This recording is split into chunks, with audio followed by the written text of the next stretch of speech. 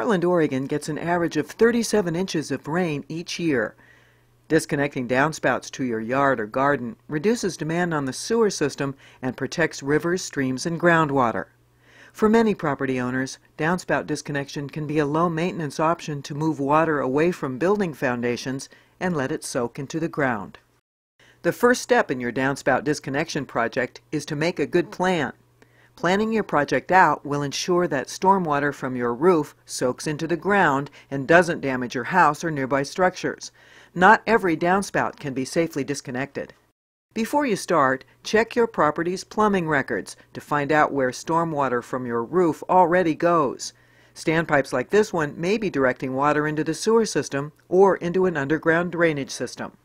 In the City of Portland, disconnection guidelines are designed to meet Portland's safety recommendations. If your property is in another jurisdiction, be sure to check your local guidelines for safe downspout disconnection. You should disconnect your downspout to a permeable area in your yard that is at least 10% of the roof area that drains to the downspout you're going to disconnect. For example, to drain 500 square feet of rooftop, the permeable area should be at least 50 square feet. Also, never direct water from a disconnected downspout over any underground system like a septic tank, oil tank, or drain field. And make sure the area that receives stormwater is at least 10 feet from any retaining walls. You need to make sure your downspout drains only on your property and that the point of discharge is at least 5 feet from your property line and 3 feet from a public street or sidewalk. Make sure the slope in your yard allows water to flow away from your foundation, but make sure the slope doesn't exceed 10%. You can check for slope by running water from a garden hose or a watering can and watching where the water goes. The water from your disconnected downspout must discharge at least 6 feet from a basement foundation. The water needs to be discharged at least 2 feet from a crawl space, slab foundation, patio slab, or masonry chimney. These are minimum distances.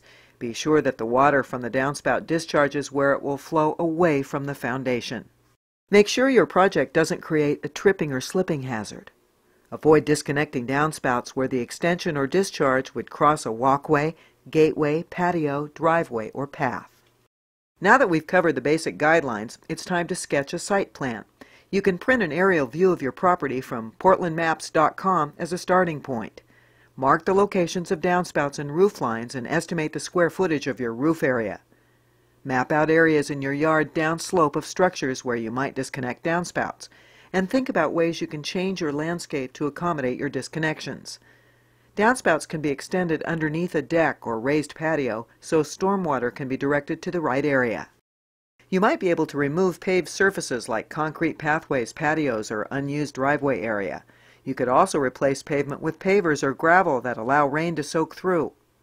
You can put plastic or concrete splash blocks, rocks, or large flat stones at the end of an extension to control erosion, help direct runoff, and add visual interest. For most downspout disconnections, you'll need a drill, a hacksaw, tape measure, a pair of needle nose pliers or metal crimpers, and a screwdriver or nut driver. If you have masonry, brick, stucco, or asbestos shingle siding, you will also need a drill fitted with a concrete bit to pre-drill the holes where you will attach the downspout. It's also a good idea to use something rigid, like a masonite or a plywood scrap, to prevent marring your exterior siding when you cut the downspout. When you finish planning your project and you've gathered your tools, make a list of the parts and materials you'll need. Downspout parts come in a variety of standard shapes, sizes, colors, and materials to fit your gutters. You can paint many of these materials to match your paint color or blend into your landscaping. Use durable gutter-grade materials such as aluminum, steel, copper, vinyl, and black ABS SCH 40 plastic. You can find all these materials in most hardware stores and home centers. You want to be sure your work stands up to time and weather. Never use corrugated plastic, also known as ADS rollout hose, PVC pipe, dryer hose, swivel, or open trough materials. All these materials have limited durability. You will need to seal the sewer standpipe when you disconnect the downspout. Use a black plastic cap with hose clamp for plastic standpipes or wing nut test plug for cast iron, terracotta, or cement standpipes. Most standpipes are between 3 and 5 inches wide. Estimate the diameter of your standpipe before shopping. If you're not sure just what you need, you might want to buy several sizes and then take the ones you don't need back to the store later. Now you're ready to disconnect a downspout. Disconnecting includes measuring and cutting the downspout, plugging or capping the standpipe, attaching the right combination of elbows and extensions, using a splash block to prevent erosion, and making sure materials are secured to existing structures. First, measure the existing downspout from the top of the standpipe and mark it at about 9 inches above the standpipe. You may need to cut the downspout higher depending on how far out you need to run the extension. Now we can cut the downspout and remove the lower part. Make sure to install the cap or plug right away so nothing drops into the standpipe. Use crimpers or needle nose pliers to crimp the metal at the corners. Don't try to bend or twist it. Now attach an elbow over the downspout. If we pull it up inside the downspout, it will leak. Remember that because this house has a basement, this downspout has to discharge at least 6 feet from the basement foundation. So we'll need about this much extension. We'll be using a splash block so you can count the total length from the house to the end of the splash block. Now put this together using sheet metal screws. You only need to use two screws per joint, one on top, like this, and another along the side, like this. Never put any screws on the bottom of the parts because it will leak.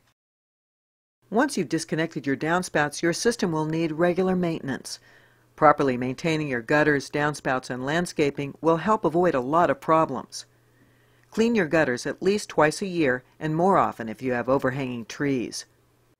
Check to make sure that gutters are still slightly tilted in the right direction to direct water to the downspouts caulk any leaks or holes, and make sure the roof flashing directs water into the gutters.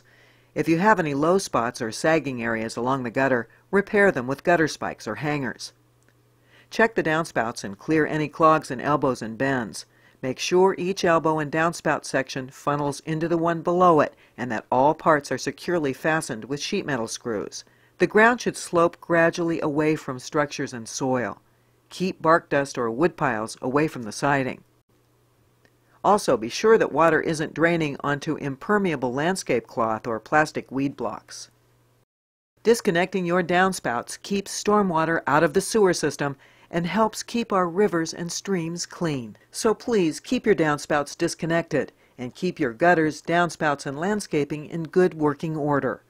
And thank you for working with us for Clean Rivers. For more information, call us at 503 823 7740 and visit the Bureau of Environmental Services website at www.portlandoregon.gov/bes. You'll find more stormwater management options, maintenance information, and other Clean River resources.